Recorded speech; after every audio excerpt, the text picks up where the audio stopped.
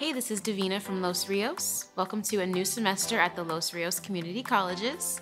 Get ready to explore, learn, and achieve your goals. Let's make this semester unforgettable. If you are a brand new student or returning, we have resources to help you get going. Our welcome centers are available to answer questions like navigating your student portal like eServices, learning about Canvas, connecting to your success coach, or locating more resources. Campus maps are located under the About Us section of your campus website.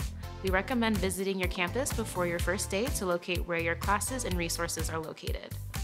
Check eServices in Canvas often leading up to the first day for updated information from your professor about required instructional materials or what to have ready before the first class. Be prepared for your first day. For in-person classes, be sure to arrive early to allow time for traffic, parking, and locating your classroom. For online classes, be sure to also sign in early to allow time for any possible technical issues. We have created quick videos to help you along the way. If you need help with how to enroll, get a student access card, where to get a parking permit, or many other topics, follow this card to our Los Rios Journey playlist. For more information, you can always visit us at losrios.edu. If you have ideas for future content we can create to provide you with more help, please leave us a message in the comments of this video. Have a great semester, and remember, you got this.